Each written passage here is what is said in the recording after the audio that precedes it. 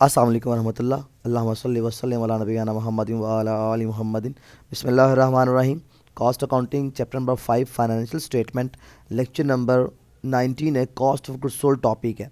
Eighteen lecture discuss हो चुके हैं। अगर आपने वो नहीं देखे तो उनका लिंक डिस्क्रिप्शन में मौजूद होंगे, आप वहाँ से देख सकते हैं। इसके अलावा, तमाम कॉस्ट की तमाम बुक के लेक्चर्स इस चैनल पे अवेलेबल हैं। एडवांस अकाउंटिंग के भी टैक्स अकाउंटिंग के भी। I com part one part two B com part one part two के तमाम लेक्चर्स इसी के ऊपर आएँगे इन ताला। आप अपने आसपास जितने भी कॉमर्स के स्टूडेंट्स हैं, उन्हें ये चैनल लिंक भेजें ताकि वो भी इससे फ़ायदा उठा सकें। आपका बहुत शुक्रिया। अगर आप ये पहली दफ़ा देख रहे हैं तो इस चैनल को सब्सक्राइब करें और साथ दिए गए बेल आइकन पर क्लिक करके नोटिफिकेशन को ऑन कर दें ताकि तमाम आप नॉलेज आप तक पहुँच सके। चलिए हम स्टार्ट करते हैं लेक्चर नंबर 19 इस लेक्चर के अंदर हम सेशन नंबर 17 को डिस्कस करेंगे। Operating statement from the incomplete data Hala enterprises hide of fire आग लग गई। मार्च 31 को which completely destroyed the plant some of the accounting record accountant of the factory on the base of past experience factory के accountant ने पिछले experience की बुनियाद पर कुछ रिकॉर्ड तैयार किया है। वो आपको दे रहा है, आपने इसमें से ये चीज़ें कैलकुलेट करनी है। क्या कैलकुलेट करना है? फिनिश गुड इन्वेंट्री जो लॉस्ट हो गई वर्क इन प्रोसेस इन्वेंट्री जो लॉस्ट हो गई, और रॉ मटेरियल की इन्वेंट्री जो लॉस्ट हो गई, ये तीनों कैलकुलेट करनी है। Cost of goods manufactured and sold statement बनानी पड़ेगी आपको इसमें। हम डाटा देख लेते हैं। डाटा में लिखा हुआ है प्राइम कॉस्ट प्राइम कॉस्ट है seventy percent of C G M cost of goods manufactured gross profit दिया हुआ है सेल का ट्वेंटी परसेंट फैक्ट्री ओवरहेड दिया हुआ है जनाब चालीस फ़ीसद of कन्वाइन cost cost of goods available for sale है छः लाख। डायरेक्ट मटेरियल यूज़ दिया हुआ है दो लाख सत्तर हज़ार। वर्क इन प्रोसेस की ओपनिंग इन्वेंट्री लिखा हुआ है दिसंबर इकतीस, दो हज़ार तेरह। ये आग लग रही इकतीस मार्च, दो हज़ार चौदह। तो ये ओपनिंग इन्वेंट्रीज हैं। ये यकम जनवरी 2014 की इन्वेंट्रीज हैं। Work in process material finish good sales दी हुई छः लाख पंद्रह डायरेक्ट लेबर है eighty four thousand inventories are insured inventories हमारी बीमा थी। और इंश्योरेंस कंपनी ने कहा कि बताएँ जनाब, अपना अप्रोक्सीमेट कॉस्ट बताएँ कि कितनी इन्वेंट्रीज आग से आपकी जल गई हैं जिसको आप क्लेम करना चाहते हैं। हम लिखेंगे Hala enterprises statement of cost हम क्वेश्चन में आपको बकायदा सॉल्व करके देता हूँ ताकि आपको समझ आए। यहाँ लिखते हैं जी, Hala industries cost of goods manufactured and sold statement बनानी है फॉर द ईयर ऑफ़ इकतीस मार्च 2014 अच्छा जी, अब हमारे पास जो डाटा है, वो गिना चुना डाटा है, सारा कंप्लीट नहीं है तो हम वो जो जो अवेलेबल है, उसको पुट कर देते हैं, जो नहीं है, उसको फिर बाद में देख लेते हैं। हमारे पास जनाब अवेलेबल ओपनिंग रॉ मटेरियल है तीस हज़ार रुपये का। तीस हज़ार रुपये का ओपनिंग रॉ मटेरियल है पुट कर दिया। हम देखते हैं परचेजेज है सवाल में। ये दिया हुआ डायरेक्ट मटेरियल परचेज दो लाख सत्तर, इसके अलावा कोई चीज़ नहीं है। मतलब कोई डायरेक्ट एक्सपेंसिस नहीं है परचेज रिटर्न नहीं है। दो लाख सत्तर हज़ार रुपया ये परचेज में आ जाएगा। इसको अगर हम जमा करेंगे, यही नेट परचेज होगी हमारी। और यहाँ पे परचेज रिटर्न नहीं है डायरेक्ट एक्सपेंस भी नहीं है नेट परचेज ओवरसी वही आ जाएगी दो लाख सत्तर। इसको और इसको जमा कर लेंगे, ये तीन लाख बन जाएगा आपके पास। Direct material available for use ending minus करना है। तो ये हमने मालूम करना है। ये सवाल में दिया ही नहीं हुआ। इसके बाद जवाब आ जाएगा direct material use direct material use आ जाएगा यहाँ पे। जब ऊपर एंडिंग इन्वेंट्री नहीं है तो डायरेक्ट मटेरियल यूज़ भी नहीं आएगा। उसके बाद डायरेक्ट लेबर चेक कर लेते हैं। सवाल में अवेलेबल है। डायरेक्ट लेबर ये दी हुई है। एट्टी फोर थाउज़ेंड रुपीज़ की डायरेक्ट लेबर है। हम लिख देते हैं।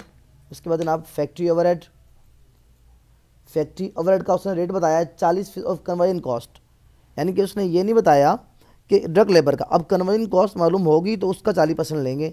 इसका मतलब ये भी नहीं है। करंट मैनुफैक्चरिंग कॉस्ट भी नहीं आएगी। उसके बाद जनाब opening work in process check कर लेते हैं।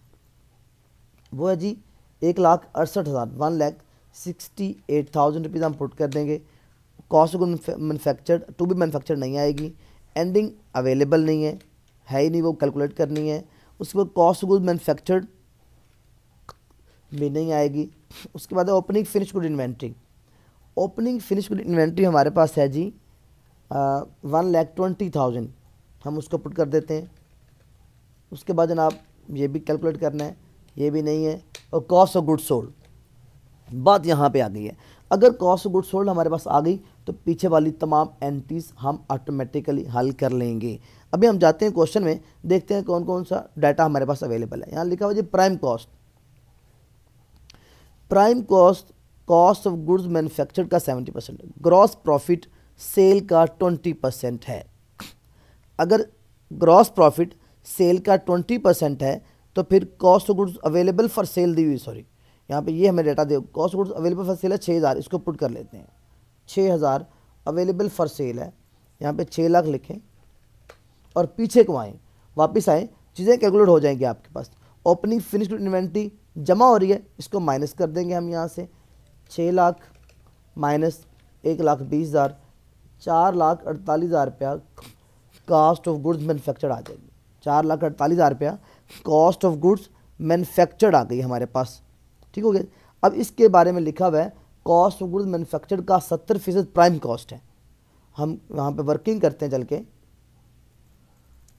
ये चार लाख अड़तालीस हज़ार रुपया यहाँ पे आ जाते हैं। स्पोर्टिंग कैलकुलेशन में। वगैरह जनाब prime cost prime cost is equal कितने परसेंट है?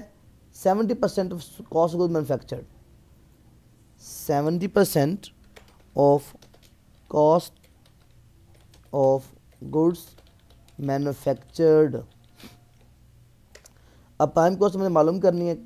Seventy percent seventy over hundred cost good manufactured आई है जी हमारे पास चार लाख अस्सी हज़ार। इसको हम कैलकुलेट कर लेंगे। Prime cost is equal prime cost is equal इसको कैलकुलेट कर लें जी। ये बनेगा लगभग multiply by seventy divided by hundred ये आ जाएगा तीन लाख छत्तीस हज़ार रुपया। तीन लाख छत्तीस हज़ार रुपया प्राइम कॉस्ट आ गई। अच्छा प्राइम कॉस्ट के अंदर दो चीज़ें होती हैं। प्राइम कॉस्ट के अंदर दो चीज़ें होती हैं। एक होती है डायरेक्ट मटेरियल जमा डायरेक्ट लेबर अब सवाल में डायरेक्ट लेबर दी हुई है। प्राइम कॉस्ट है तीन लाख छत्तीस हज़ार। इज़ इक्वल डायरेक्ट मटेरियल नहीं है। जबकि डायरेक्ट लेबर दिया हुआ है हमें। डायरेक्ट लेबर सवाल में दिया हुआ ये एट्टी फोर थाउज़ेंड रुपीज़ का। अब हमने डायरेक्ट मटेरियल यूज़ करना है तो तीन लाख छत्तीस हज़ार में से एट्टी फोर ये डायरेक्ट लेबर को हम इस साइड पे ले आएँगे। इधर ला के माइनस कर देंगे, हमें डायरेक्ट मटेरियल आ जाएगा। कैलकुलेट कर लें जी, कितना बचता है पीछे? तीन लाख छत्तीस हज़ार में से एट्टी फोर माइनस कर दे। दो लाख बावन हज़ार आ जाएगा डायरेक्ट मटेरियल ये डायरेक्ट मटेरियल आ गया हमारे पास। ठीक हो गया जी। डायरेक्ट मटेरियल की वैल्यू आ गई दो लाख बावन हज़ार पर हम ऊपर आते हैं। यहाँ पे डायरेक्ट मटेरियल यूज़ जहाँ पे है, वहाँ लिखते हैं दो लाख बावन हज़ार पे। अब यहाँ से पीछे वाला सवाल हल हो जाएगा। दो लाख बावन और तीस हज़ार का जो फ़र्क है वो एंडिंग इन्वेंट्री में आ जाएगा। कैलकुलेट कर लेते हैं माइनस तीस हज़ार रुपया। यह आएगा दो लाख बाईस हज़ार रुपया। ठीक है जी? दो लाख बाईस एंडिंग मटेरियल है। अब डायरेक्ट मटेरियल आप अवेलेबल फॉर यूज़ ये हमारा आगे सारा क्वेश्चन हो गया तो वैल्यूज़ है, ही नहीं। सॉरी ये तीन लाख है। तीन लाख माइनस करना है, दो लाख बावन और तीन लाख का डिफरेंस लेना था। तीन लाख माइनस दो लाख बावन हज़ार। यहाँ पे आता forty eight thousand forty eight thousand any inventory आ गई। ये कैलकुलेट होगी आपकी। अब नेक्स्ट आ जाएँगे। अब आ जाएँ आप यहाँ पे आपके पास डायरेक्ट मटेरियल यूज्ड है और डायरेक्ट लेबर है। एफ़ एच मालूम करना है। ये आएगा, सवाल आगे को चला जाएगा। अब एफ़ एच के बारे में लिखा हुआ है सवाल में। एफ़ एच के बारे में लिखा है, ये चालीस फ़ीसद कन्वर्जन कॉस्ट का। अब इसकी ज़रा कैलकुलेशन देखें कैसे करनी है आपने। ये मैं ज़रा मिटा रहा हूँ, इसको आपने नोट कर लेना है। पीछे करके आप इसको देख लीजिएगा। ताकि मेरे लिए नीचे जाना मुश्किल हो रहा है। अच्छा देखें ज़रा हमारे पास जनाब एफ़ एच फैक्ट्री ओवरहेड जो है वो है आ, कितने परसेंट है जी? देख लेते हैं। चालीस फ़ीसद कन्वर्जन कॉस्ट का। चालीस परसेंट कन्वर्जन कॉस्ट अब कन्वर्जन कॉस्ट सवाल में नहीं है। अगर एफ़ चालीस फ़ीसद है तो डायरेक्ट लेबर कितने परसेंट होगा? और उससे जो बाकी रह जाता है। कन्वर्जन कॉस्ट का एफ़ चालीस है तो सिक्सटी जो है वो फिर डायरेक्ट लेबर है। डायरेक्ट लेबर फिर कितना होगा सिक्सटी परसेंट अच्छा अब ये कन्फ्यूज़ ना होइएगा। पिछले क्वेश्चन के अंदर एफ़ का रेट दिया था चालीस सेवेंटी परसेंट या सिक्सटी परसेंट डायरेक्ट लेबर का। तब हम डायरेक्ट लेबर को हंड्रेड लेते हैं। अब कन्वर्जन कॉस्ट के अंदर मैं यहाँ पे एक हिंट देता हूँ आपको। कन्वर्जन कॉस्ट बराबर होती है डायरेक्ट लेबर जमा एफ़ एच इन दोनों के। तो जितनी डायरेक्ट लेबर जितनी कन्वर्जन कॉस्ट होगी, ये दोनों उतने होंगे। तो इसका मतलब 40 सीसी का 40 अगर एफ़ एच है तो बाकी 60 जो है वो डायरेक्ट लेबर है। इसको हम मज़ीद सॉल्व कर लेते हैं आगे। डायरेक्ट लेबर में दी हुई है सवाल में 84 is equal 60 percent of 60 over 100 of CC अब सीसी सवाल में नहीं है। इसको कैसे हल करेंगे? 84,000 मल्टीप्लाई बाय ये रेट ये रेट 60 ओवर 100 इधर ले आएँगे। 100 ओवर 60 कर देंगे। इज़ इक्वल सी सी इसको हल कर लें। अब सी सी आ जाएगी आपके पास 84,000 मल्टीप्लाई बाय 100 डिवाइडेड बाय 60 एक लाख चालीस हज़ार रुपये आपके पास आ गया कन्वर्जन कॉस्ट अब कन्वर्जन कॉस्ट आ गई आपके पास कन्वर्जन कॉस्ट आ गई एक लाख चालीस। अब एफ़ मालूम करना है हमने। एफ़ जो है वो है forty percent of conversion cost conversion cost आपके पास एक लाख चालीस है। एक लाख चालीस का फोर्टी परसेंट कर लें, कितना आता है? एक लाख चालीस multiply by forty divide by hundred fifty six thousand आ गया आपके पास फैक्ट्री ओवरहेड इसको कर लें जनाब आप फिफ्टी सिक्स थाउज़ेंड को लिखें फैक्ट्री ओवरहेड यहाँ पे आ जाएगा फिफ्टी सिक्स थाउज़ेंड अब डायरेक्ट मटेरियल भी आ गया लेबर भी आ गई एफ़ एच भी आ गया. इन तीनों को जमा कर लें जी. जमा एट्टी फोर जमा टू फाइव टू ये टोटल करंट, आपके पास करंट मैनुफैक्चरिंग कॉस्ट आ गई तीन लाख बावन हज़ार। तीन लाख बावन हज़ार। Three lakh ninety two thousand इसमें ओपनिंग वर्किंग प्रोसेस जमा कर दें, वह एक लाख अड़सठ हज़ार। यह आ गया पाँच लाख साठ हज़ार आ गई cost of goods to be use इसमें से चार लाख अस्सी माइनस कर दें। ये ऊपर रकम है, ये नीचे है, दरमियान में रकम मालूम करनी है इसमें से। चार लाख अस्सी निकाल दें, आपके पास अस्सी हज़ार रुपया वैल्यू आ जाएगी एंडिंग वर्किंग प्रोसेस की। यहाँ तक तो होगी बात क्लियर अब रह गई सिर्फ़ एंडिंग फिज गुड की इन्वेंट्री मालूम करनी। इसके लिए हमें कॉस्ट गुड सोल्ड चाहिए। कॉस्ट गुड सोल्ड के बारे में लिखा हुआ है कि ग्रॉस प्रॉफिट जो है, वो नेट सेल का बीस परसेंट है। यहाँ पे हम कैलकुलेशन दोबारा करते हैं। वर्किंग थ्री करते हैं इसकी। वर्किंग थ्री लिखा जनाब जीपी ग्रॉस प्रॉफिट जो है, वो ट्वेंटी परसेंट है